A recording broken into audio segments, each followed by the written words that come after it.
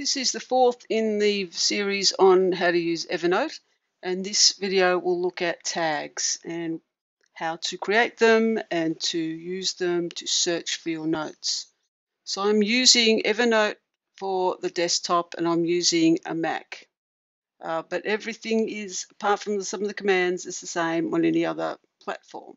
And we'll also take a look at the online Evernote account to see how things differ with that. So a tag is something that is another layer of organization. You have notebooks, and in your notebooks, you organize the notes. There's all the notebooks that I have here into appropriate folders. So think of a notebook as a folder. But within that folder, you still need to be able to find a specific note. So I have a, uh, a notebook for a summer school course that I'm going to be teaching. And in collecting information for that course, I put them all into the summer school folder, but I need to then differentiate within each note about what specifically it's about. So I think they've all got the iPad because that's what this one's about, summer school iPad, and that's the only tag they've got. But I could have other levels of tags if I wanted to. So tags are just another way of organizing your notes you can search for tags, they're searchable. So if I wanted to find the um, notes that have iPad in, in them up in the, the search, I can put tag, search for the tag. And it's best to put it into quotes to find exactly what you want with the iPad. Uh, any notes with iPad. And it's going to find those. Um, probably would have been better if I wasn't on that. Let's try it again. Tag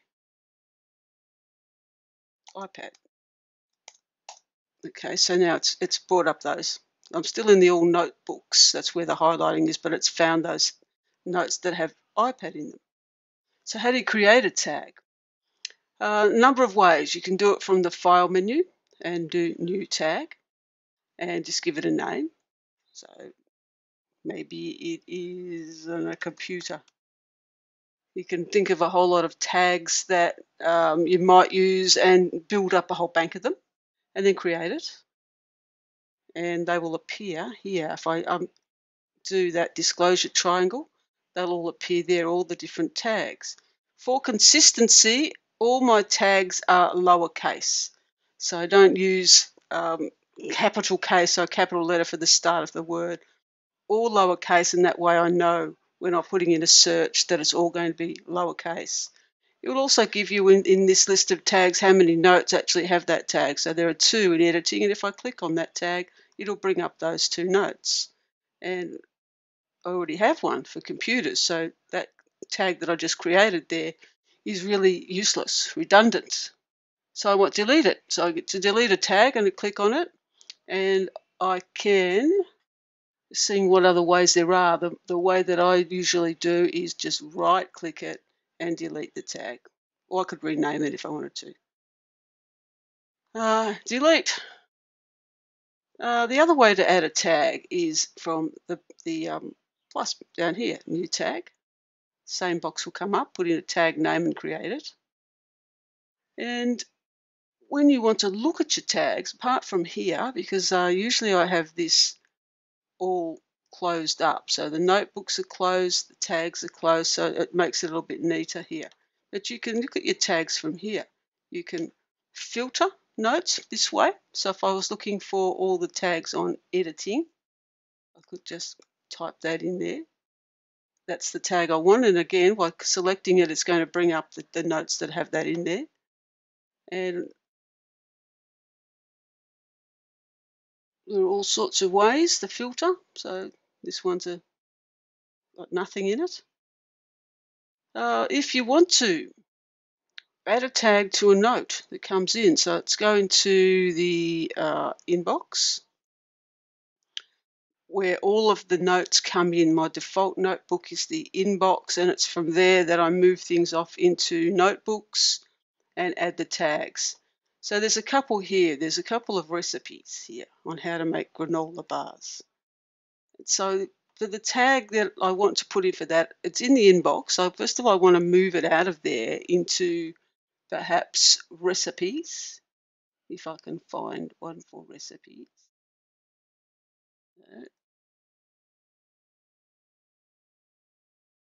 No, it's not going to go into recipes. It's going to go into juice and raw, that notebook.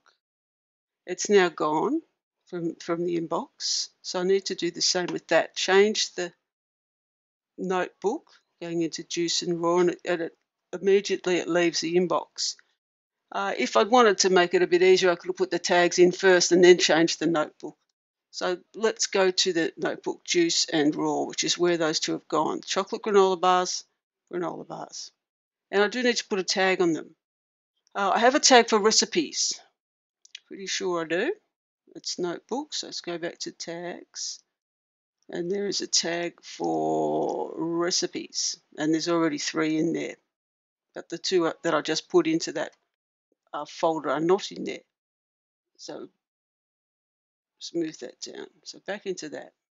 So I could put, they're both going to have the tag of recipes. So I can do it two ways. I can I can do them individually and just click in the first one and type in recipes and if I've already got anything that starts with those letters it's going to bring up the existing tag so I can select it press return rather than type it out again and risk making a typing mistake which means that I have different spellings of recipes.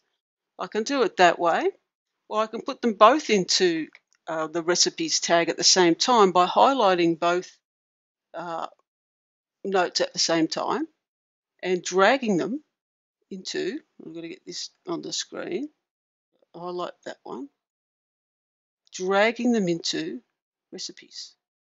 And that gives them the tag. So when I come back and have a look at them, they've got the tag of recipes. So that's one way of using multiple tags.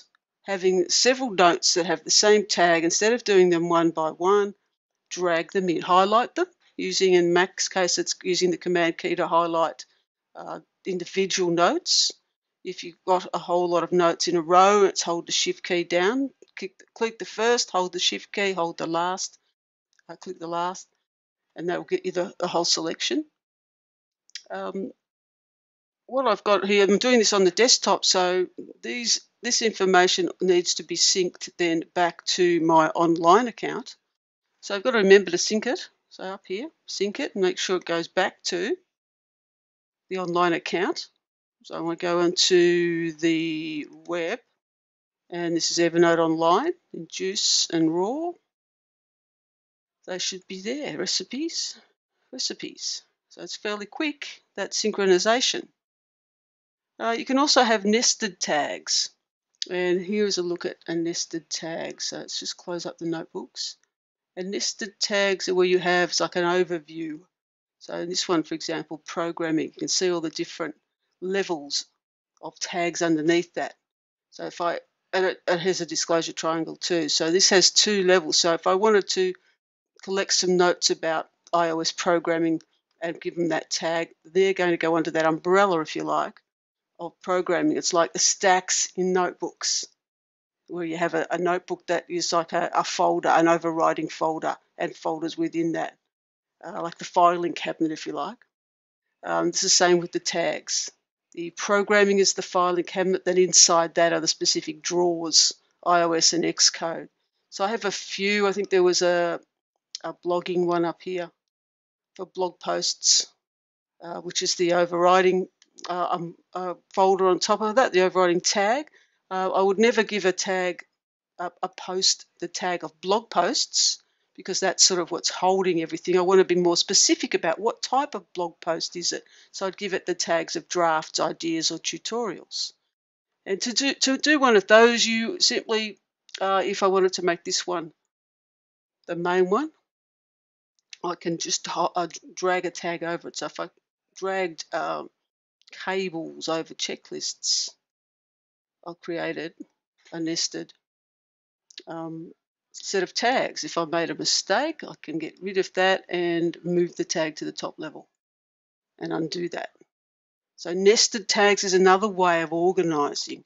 The more tags you have, the more difficult it might be to find information. So you really need to be pretty clear about how you're going to organize your notes in notebooks and then what specific types of tags and be consistent And the best way to be consistent with a tag is when you have the note. Let's go back up to a notebook and pick a note. Uh, so uh, say this receipt. I have a, a note here and I actually want to, it's a, it's a receipt for a scanner. So it has an incorrect tag in it, scams. So if I don't want that one, I'm just going to click on it and delete it. If I wanted to make another tag for scanner, just putting the SC in, we'll see if I've already got anything. So I have got scanner, so I can add that in. And the problem with this one that's got capital S's at the beginning.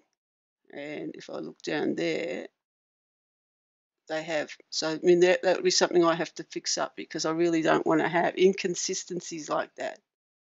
Uh, scanning is absolutely vital for finding your information because you can search up here for a specific tag or combination of tags, putting in the correct notebook, the correct tagging, and you'll be able to find your information a little bit later. Uh, as you get many, many notes, I've only got 92 here, so there's um, it's still small enough to be able to find anything. But the bigger you get, the more difficult it will be to find things. So use them uh, wisely. That's all for this video.